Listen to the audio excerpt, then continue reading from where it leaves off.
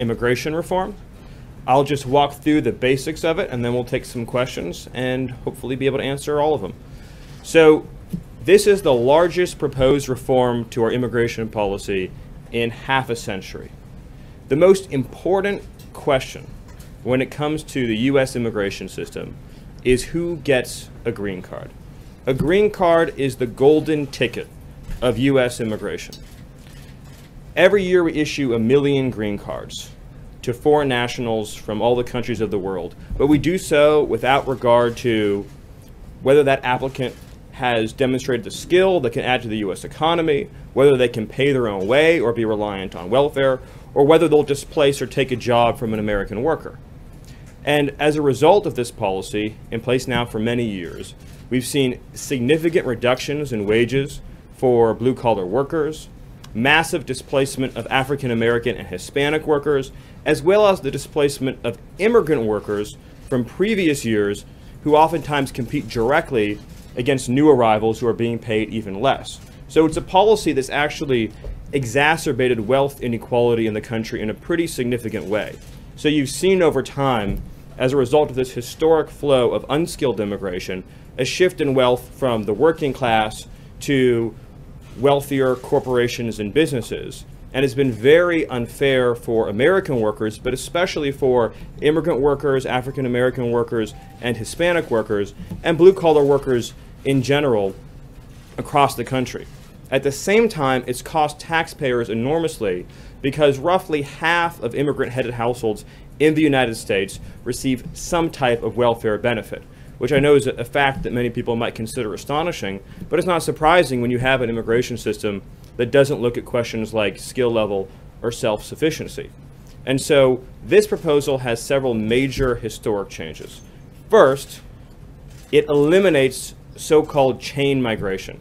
So, right now, what does chain migration mean? It means that if you come into the United States on a green card, and just so we're all clear, a green card gives the recipient lifetime work authorization, the ability to bring in their family members, it gives them a fast track to U.S. citizenship, and with that, all the benefits that come with being an American citizen.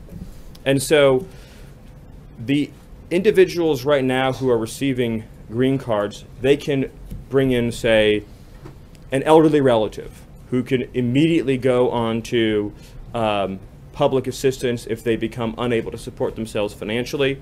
And then that person can bring in a relative who can bring in a relative who can bring in a relative, and that's why they call it chain migration.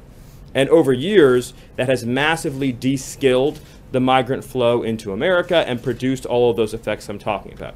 So we're proposing to limit family-based migration to spouses and minor children. Additionally, we're establishing a new entry system that's points-based. Australia has a points-based system, Canada has a points-based system, and what will the system look at? It will look at does the applicant speak English? Can they support themselves and their families financially? Do they have a skill that will add to the U.S. economy? Are they being paid a high wage? The last part's very important because it will help prevent displacement of U.S. workers. So if a company, let's say, they're offering three times the median wage, that person will get more points on their application than if they're being offered two times the median wage or one times the median wage. So all of a sudden, you're putting upward pressure on wages instead of downward pressure, and you're making it very hard to use immigrant labor to substitute for American workers because by prioritizing higher paid workers, you basically end the practice, more or less, of being able to seek out permanent residents to come in at lower pay. And so that's a major historic change to U.S. immigration policy.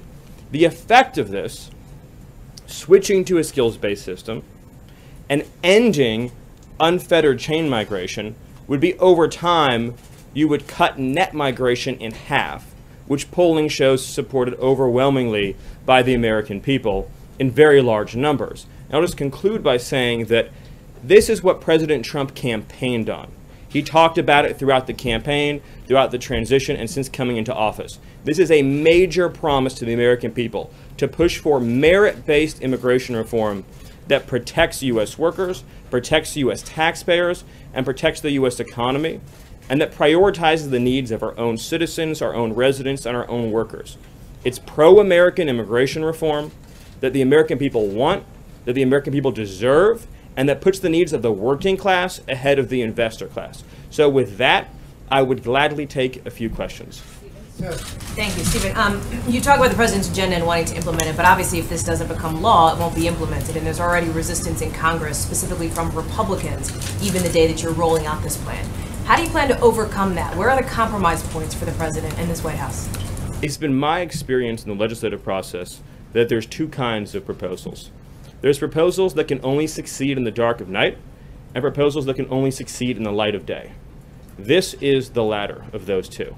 The more that we as a country have a national conversation about what kind of immigration system we want and to whom we want to give green cards to, the more unstoppable the momentum for something like this becomes. There's room for change. And for public support is so immense on this, and we just look at the polling data in many key battleground states across the country, that over time you're going to see massive public push for this kind of legislation because immigration affects every aspect of our lives. It affects our schools, our hospitals, our working conditions, our labor market, our tax base, our communities, and it's a deeply personal issue for Americans. And so you're going to see massive public support for this. And ultimately, members of Congress will have a choice to make.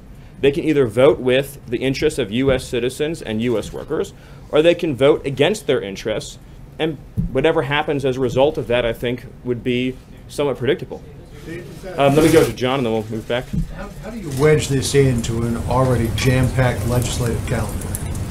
Well, ultimately, we're going to have to have conversations with Senate leadership and House leadership about the steps forward. But this is an issue that we campaigned on, the American people voted for by electing Donald J. Trump as their president, and that is of enormous importance to the American economy because, again, we're protecting blue collar workers and we're bringing in workers who can add to the economy. And so I really think this is a it's a really historic moment that happened today. Again, the biggest proposed change that would take place in 50 years at a time in which you have automation that is replacing a lot of jobs in the United States. You have American workers without high school diplomas who have very low participation rates in the labor force.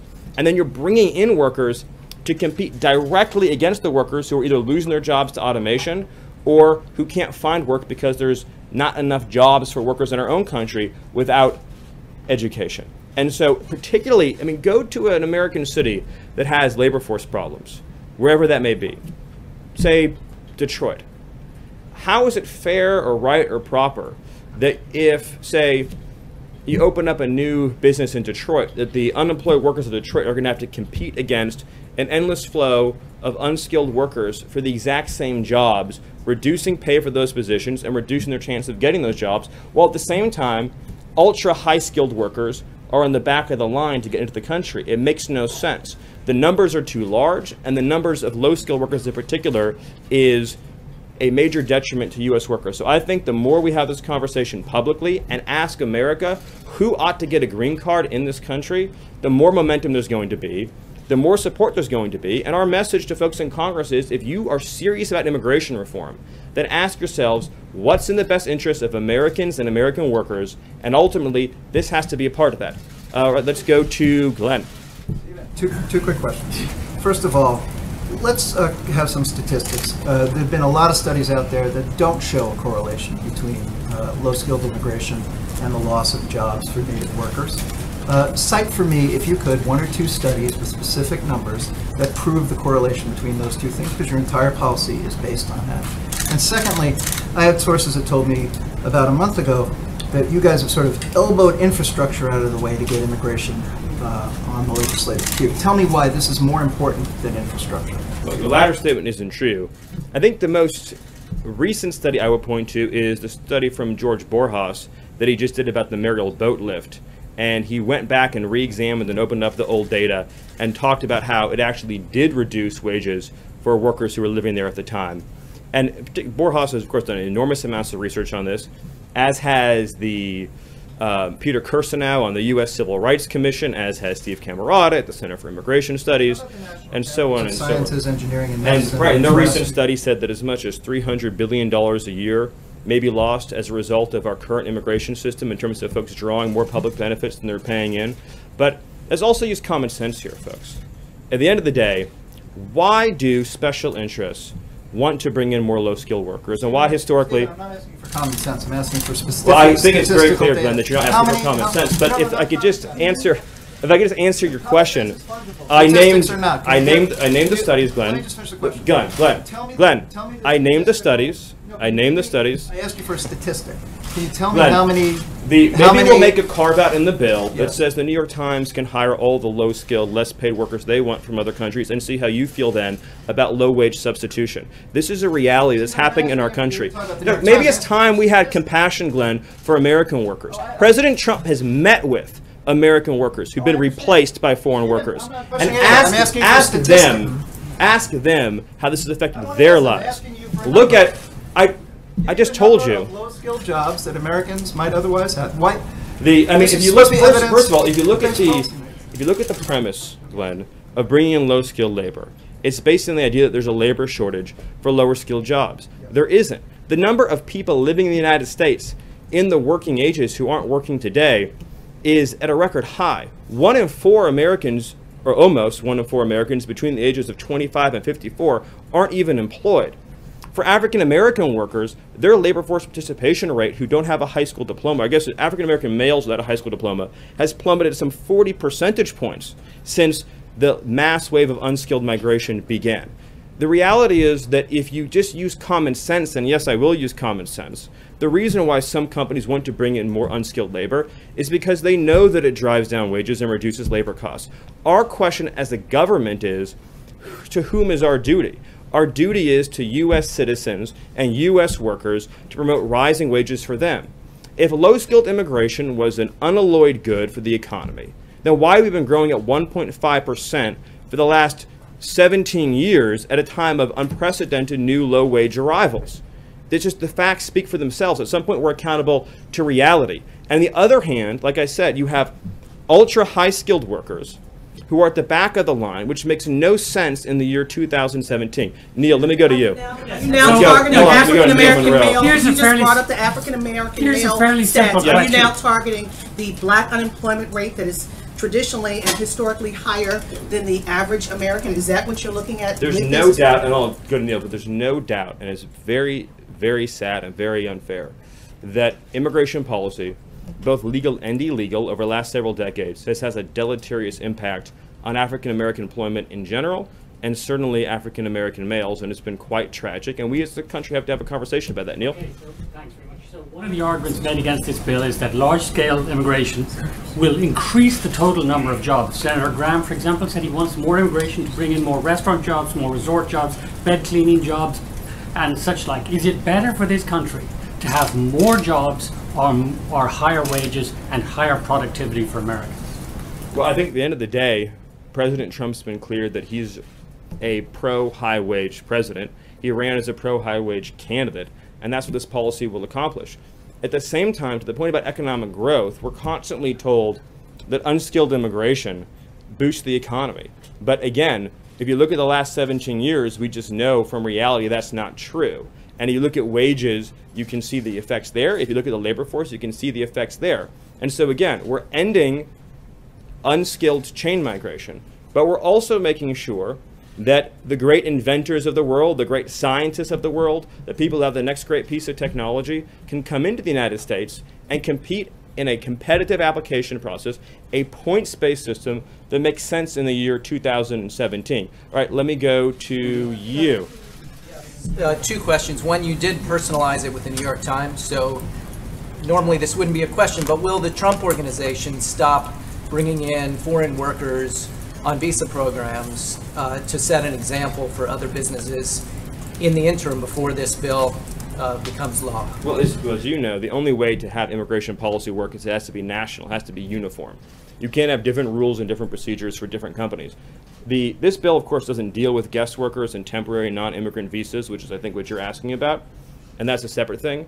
But the president was clear, if you go back and look at his debate on this during the primary, where he said, as a businessman, my responsibility is to operate my business according to the laws of the United States as they exist. He said, as president, my responsibility is to pass laws that make sure we have an immigration system that prioritizes American workers. He said that throughout the campaign, and he said it as a candidate, and he said it now. But just as a technical matter, you're talking about a different aspect of the immigration system. Today, we're talking about the, the green card system, but it's a good question. Let me move on over there. Thank you, Oh, Stephen. this, this, hold on a second. Over Thank here. you, Stephen. Just to take the question in another direction, uh, USA Today and others have shown that over the last seven years, there's been a negative flow of immigration across the southern border. And of course, unemployment is at perhaps a 10-year low right now. So will there be enough workers in the southwest states if this policy were to go into effect? Well, yeah, so I think we're talking about different things, and I appreciate the question. Net migration overall has been at a record pace. The, um, you're talking, I think, just about some questions about net migration illegally across the southern border. We're talking today about green card policy. Every year we issue a million more green cards. Um, and it just keeps adding on every year after year after year. And so the supply of foreign labor is at a record high. I think the foreign-born population right now is 45 million. I think there's 25 million foreign workers in the United States. Um, all right, right there. Yep. Thank you, Stephen. Uh, two questions for you. First, does the Trump administration plan to defend the DACA program if Texas and eight other states bring a lawsuit challenging it in court? Well, we are not going to make an announcement on that today because there is ongoing litigation, and DOJ and DHS are reviewing that. But I will say that whatever we do is going to prioritize the interests of American citizens and workers. Stephen, Zoe Daniel from Australian Yes. Broadcasting. You've talked about the Australian policy. Can you speak more specifically about what the administration likes and also how that extends into things like family sponsorship? You mentioned bringing in elderly relatives, for example, who might not be productive. Yet in Australia, adult children can sponsor their parents to immigrate. So, which elements of the policy are you choosing that you might like Right. So we looked at the Australian system, the Canadian system. We took things we liked. We added things that made sense for America and where we are as a country right now. One of the things that I think is most compelling about the Australian system is the efforts to make sure that immigrants are financially self-sufficient and make sure they're able to pay for their own health care and things of that nature. And that's certainly one of the things we took from that. And obviously, the the points-based system that Canada has has a lot to recommend it. And we actually we took that and we added things that were all new to it, and they're released today, and that um, make sure that we have a highly competitive application process. Look, there's seven billion people in the world, and so the question of who gets that golden ticket needs to be a discerning process that makes sense. Again, in an environment in which you have this huge pool of unemployed labor in the United States, and you're spending massive amounts of money putting our own workers on welfare, doesn't it make sense economically to say, let's get our own workers, immigrant and US born, off of welfare into the labor market, earning a living wage, able to pay into taxes, instead of bringing in lower wage substitutes, while at the same time ensuring that the inventors, the innovators, and the scientists are able to come into our country and add to our economy and our GDP, but not as substitutes for Americans. NBC. Stephen, thank you so much. Can you respond to some of the critics within your own party who say what we really should be focused on is comprehensive immigration reform in order to really tackle the problem in a serious way? And secondly, what do you say to those who say this just separates families and it's effectively uh, cutting an effective visa program? Well, actually, the legislation for folks who are already here, they are able who are have pending family-based sponsorships. They're actually grandfathered in. So it's a it's a new system moving forward. Point one, and point two is that beyond the immediate family members that are covered in the bill, i.e., your minor children and your um, and your spouses, your other relatives can come in. They just have to come in through the points-based system. Uh, and then your other, your first part of your question. Comprehensive immigration reform. Some Republicans say we should be focused on comprehensive immigration reform instead of a sliver uh, of the problem in order to really address the broader root problem of immigration. Well- Why not tackle it from that standpoint? Let me ask you a hypothetical, and I mean it in all sincerity. If, let's say that we had introduced a 2,000 page comprehensive immigration reform bill, would we be having this conversation today about green card policy? I suspect we wouldn't be. I think it's time that we forced the conversation onto this core issue. I know the president feels that it's enormously advantageous to have a conversation about this core aspect of immigration reform because it does receive so little discussion and yet it's so enormously important. Steve, hold on, let's go to you. Thank you, Stephen. Thanks. Uh, you mentioned lawmakers have a choice to make. Is President Trump going to make this a campaign issue next year? Well, I mean, we're making it a an issue, period. Starting, well, he started the campaign when he was running, but as far as a real push for change, that begins in earnest, aggressively starting today. And I do think, you know, I just work on the policy side, but I do think that voters across the country are going to demand these kinds of changes because, again, of the effects it has on their lives and their communities. And this is overwhelmingly popular. And I challenge any news organization here do a poll, ask these questions. Do you think we should favor applicants to our country who speaks English? Yes or no? Do you think that we should make sure that workers who come into our country don't displace existing American workers? Do you think people who come into our country should receive welfare or be financially self sufficient? Do you think we should prioritize people based on skill? Do you think that we should reduce overall net migration? Do you think we should have unlimited family chain migration? You ask any of these questions, look at the polls, look at the results you'll get in your own news organizations, and they'll be very clear. Two for you. Uh, first, uh, following with Noah's question regarding uh, the president has talked a lot about immigration reform. This has been held up in the past. He has the power today to take personal action on this by changing the way his Trump his Trump properties, Mar-a-Lago and others, bring in unskilled farm workers, displacing, as you talked about, the large uh, large numbers of Americans who are looking for work in these states. So is the president planning on taking that action? And secondly, uh, does this signal that the White House does not believe that any sort of comprehensive action on immigration is possible with this Congress, that immigration needs to be tackled in a piecemeal fashion going forward? Well, again, just as a technical matter, you're talking about non-immigrant guest worker visas, and this legislation deals with green cards, i.e. permanent immigration. So they're two totally separate categories.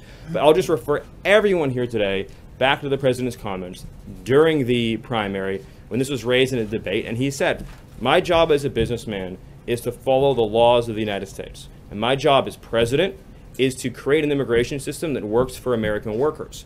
And that's one of the reasons why I think Americans so deeply admire President Trump is because they see every day he's not working for himself. He said over and over again, I've been very successful. I've had a great life. Now I'm here to work for the American people. But for any immigration system to be functional and to work, it has to be uniform across the board. One standard for everyone.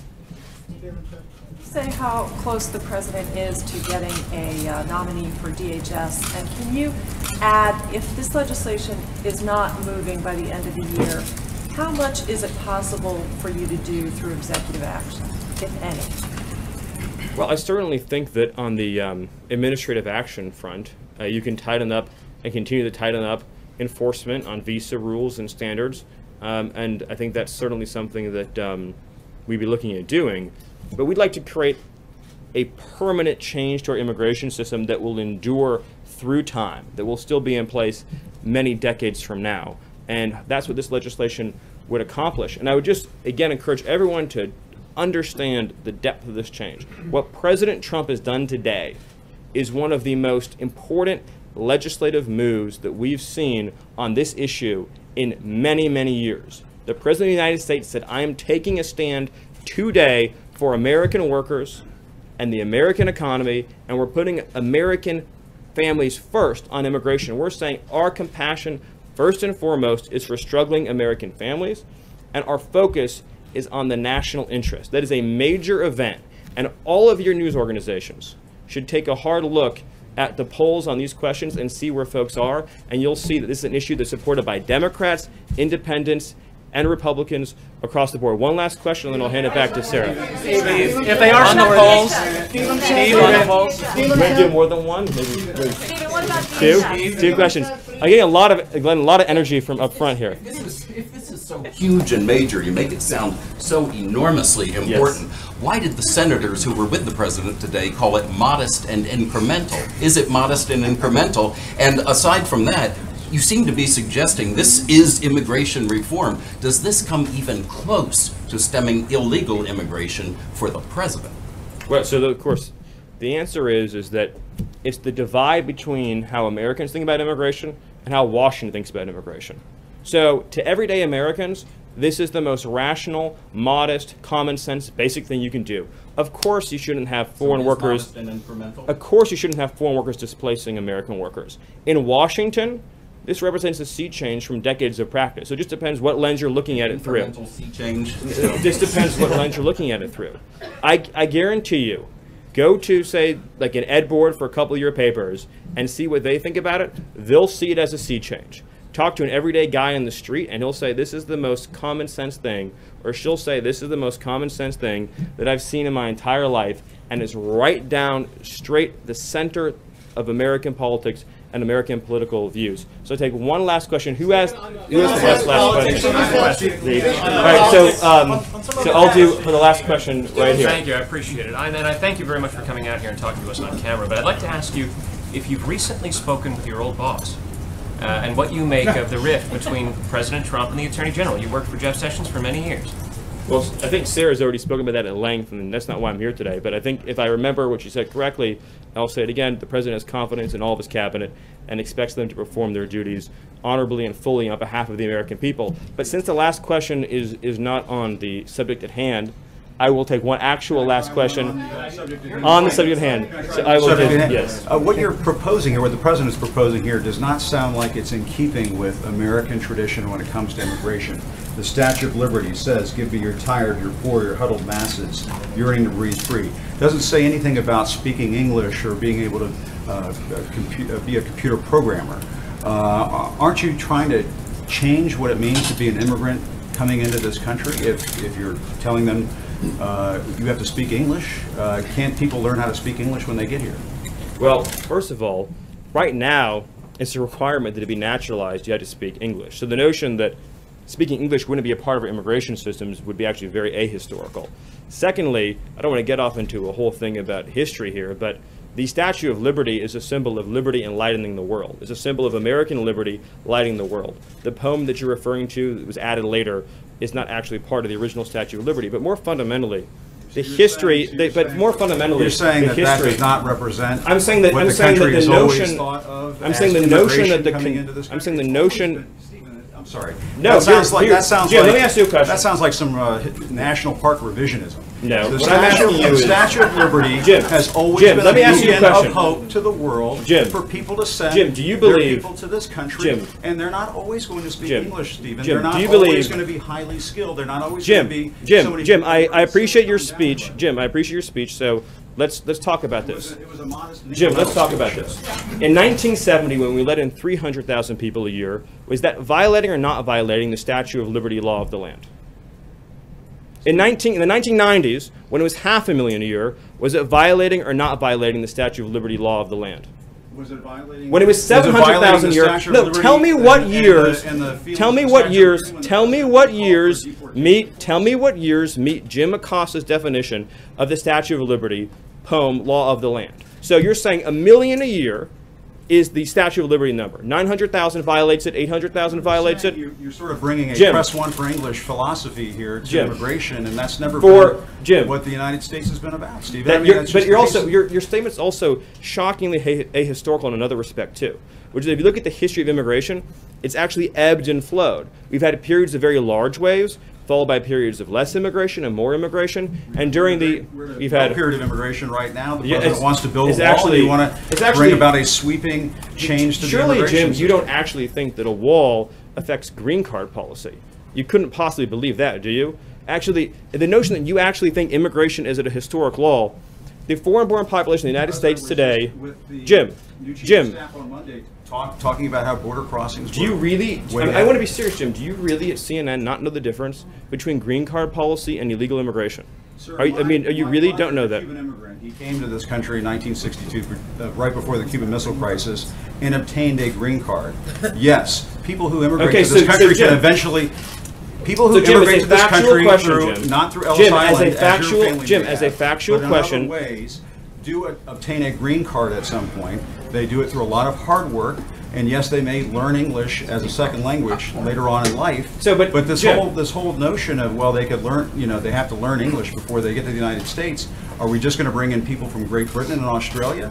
Jim, it's actually, I have to honestly say, I am shocked at your statement that you think that only people from Great Britain and Australia would know English. It's actually, it reveals your cosmopolitan uh, bias to a shocking degree that in your mind, no, this is an amazing, this is an amazing moment.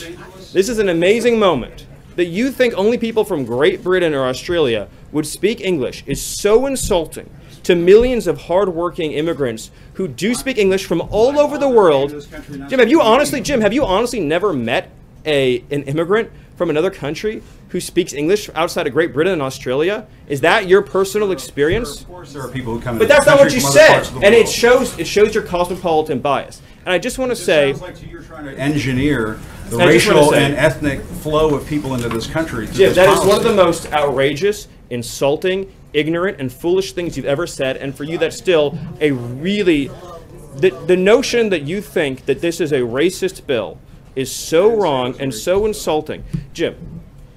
The reality is is that the foreign-born population into our country has quadrupled since 1970. That's a fact. It's been mostly driven by green card policy. Now, this bill allows for immediate nuclear family members to come into the country, much as they would today, and then it adds an additional points-based system. The people who've been hurt the most, people have to be the people who've been. The people who've been, the people who've been, the people who've been hurt the most by the policy you're advocating are What policy am I advocating? apparently just unfettered, uncontrolled migration. The people who've been hurt the most by the policy. What you're doing is- is for The people who've been hurt the most by the policy that you're. The people who've been hurt the most by the policy you're advocating are immigrant workers and minority workers and African American workers and Hispanic workers. And it has African no. American community. Now you brought it up again. You said you wanted to have a conversation and not target. Is it going to be a target? This is now? what we want to do. using the African American community. Are you going to target? I'm not trying to be funny. but Right, you and keep I know what you're this. saying. What you're saying is 100% correct. We want to help unemployed African Americans in this country and unemployed workers of all backgrounds get jobs. And insinuations like Jim made, trying to ascribe nefarious motives to a compassion immigration measure designed to help newcomers and current arrivals alike, is wrong. And this is a positive, optimistic proposal that says 10 years, 20 years, 30 years from now, t- 10 years, 20 years, 30 years from now, we want to have an immigration system that takes care of the people who are coming here and the people who are already living here by having standards, by having a real clear requirement that you be able to support yourself financially, by making sure that employers can pay a living wage. That's the right policy for our country, and it's the president's commitment to taking care of American workers. I apologize, Jim, if things got heated, but you did make some pretty rough insinuations. So thank you, thank you, thank you, and I'll hand it over to Sarah. I think that went exactly as planned. I think.